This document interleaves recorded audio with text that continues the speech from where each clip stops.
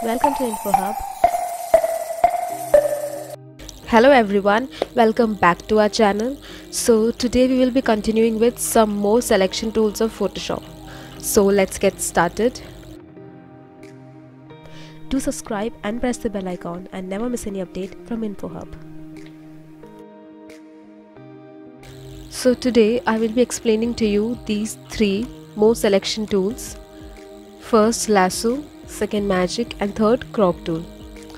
So starting with lasso tool as you can see it is categorized into three lasso tool, polygonal lasso tool and magnetic lasso tool. So I will be starting with explaining polygonal. What is basically polygonal lasso tool? It is another tool for selection but in a more precise way, in a more effective way.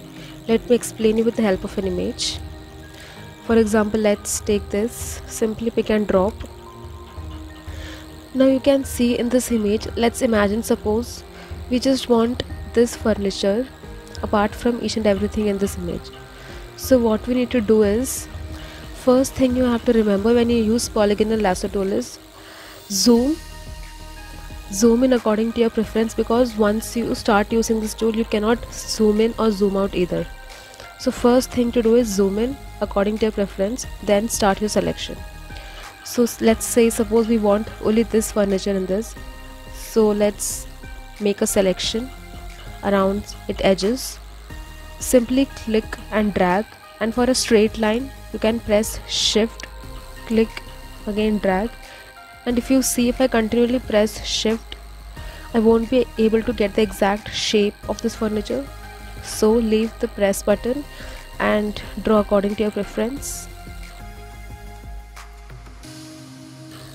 Now as you can see when I'm meeting the starting and the ending points you can see a knot has appeared there. It means that you're ready for the selection. If this knot doesn't appear you won't be able to make the selection. So always remember to meet the end and the start points. Now you can see as I'm meeting them this area this particular area is selected now all you need to do is simply press ctrl c ctrl v. Now you can see on the right side automatically a new layer is created.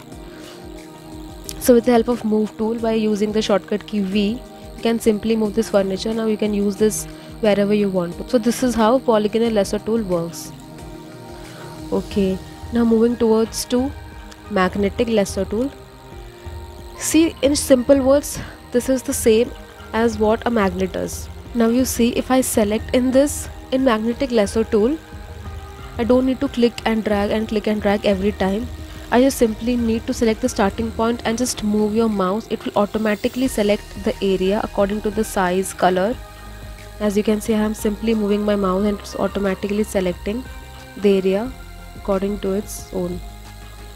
But make sure to meet the end. Now you can see this area is selected so this is the only difference in magnetic and polygonal. In polygonal you have to make your own selections by choosing at every edges.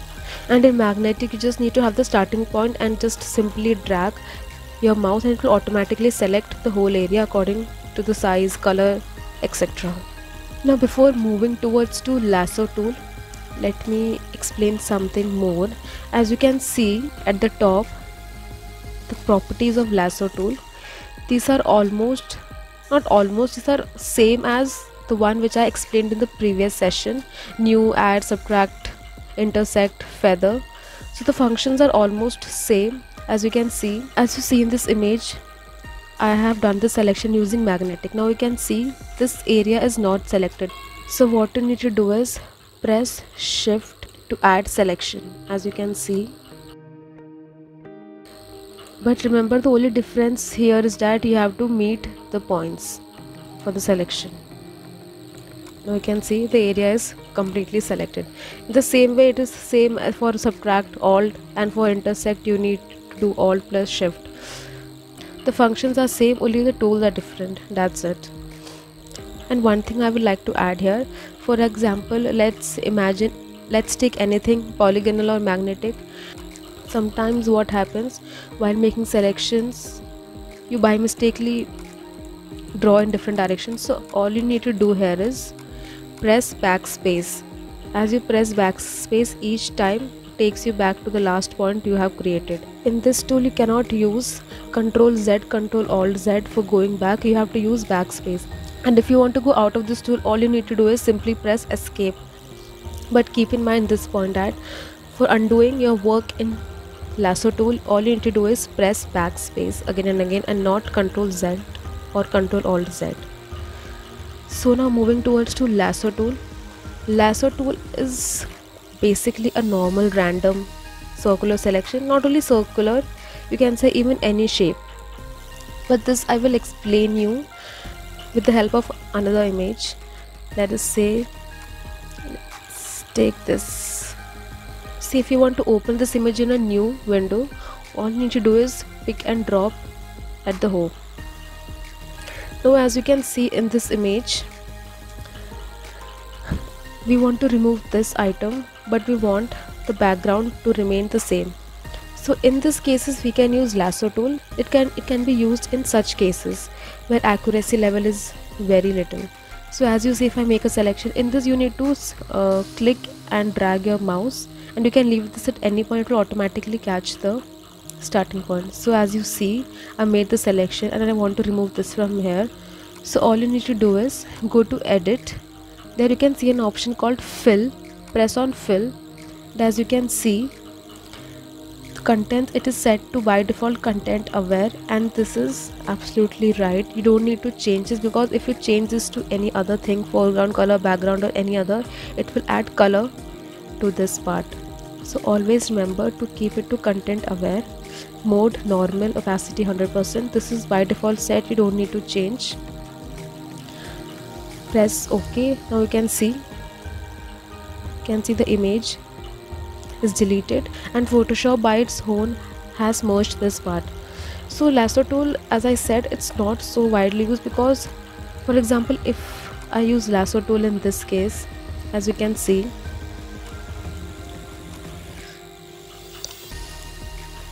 it's not effective here much because you can see the shadows you can see the shadows are here it is not properly merged. You can see some blue color as well. So it is used in very rare cases. So in short just remember that you don't need to get confused on which tool to use where. All you need to remember is that according to your image property and according to your comfort what you think is more easy to you use that specific tool because I know it's very confusing because you have a variety of options but I prefer you, you to use polygonal this is this is the most widely used tool in Photoshops as compared to magnetic and lasso tool. It is more easy and convenient to use polygonal. Okay. Now moving towards to magic tool. In magic tool you can see it is categorized into two quick selection and magic wand tool. Now what is quick selection?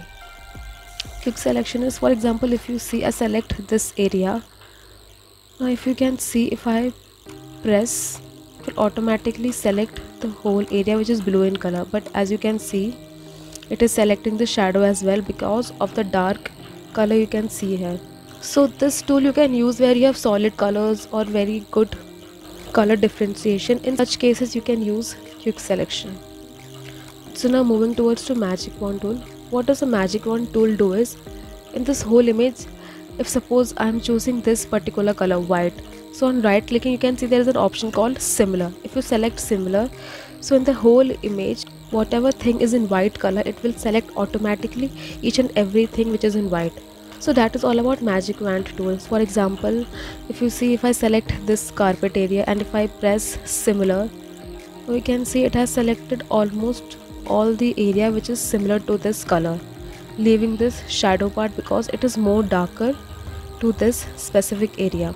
This tool can be used in areas where you have a very good quality of colors or solid colors where you want to change a large quantity of colors. In such cases uh, I prefer you to use magic wand tool instead of polygonal lasso tool. Now moving towards to crop tool we have four categories crop tool perspective slice and slice selector so today I will be explaining to you crop and perspective. These two I will be explaining to you in detail in the later sessions. So today let's start with crop tool. Crop tool is simply the tool which we use every day in our day-to-day -day life in phones in laptops in any images it's simply cropping your images for example let's say I want this particular table simply cropping the images pressing enter. One thing I would like to add here is that as you can see at the top there's an option called delete cropped pixels. It is by default set to tick.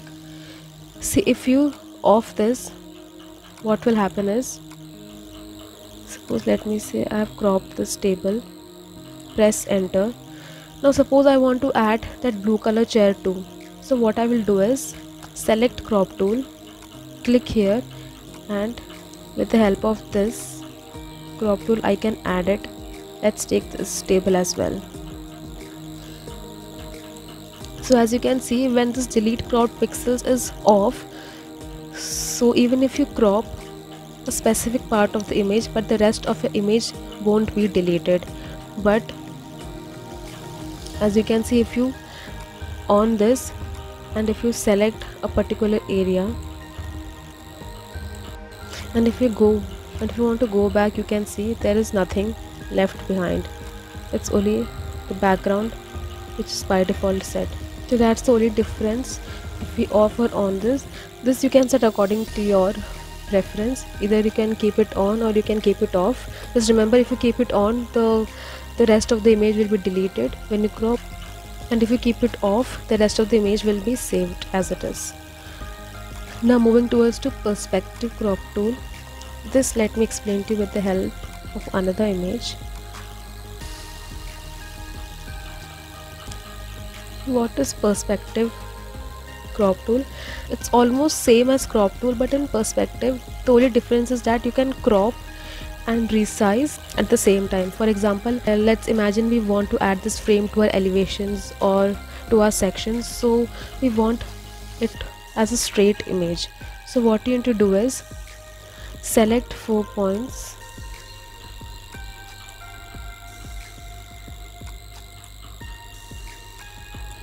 As you can see a grid is made. Now press enter. So we can see we got this image as a straight image which we can add to elevations and sections. So this is the most basic thing about perspective. This is very helpful in many cases where you need to resize your image where you need to change the position of your image. In such cases you can use this tool. So that's all for today. I'm hoping you were able to learn some more selection tools. And but before signing off i would like to suggest you one more thing i would like you people to make a library of your own. So in future when you're working on it's very helpful for you in your projects. As you can see i have made one with many categories. So i suggest you all to make your library. You can get all sorts of material from pinterest. As you can see they are a very good collection of material. So you can go to pinterest and make a very good library of your own. So if you're watching this video make sure you first create your own library. Thank you. We hope you like this video. Give your feedback in the comment section. Now you can also follow us on all social medias. Hit like and do subscribe our channel for more interesting videos.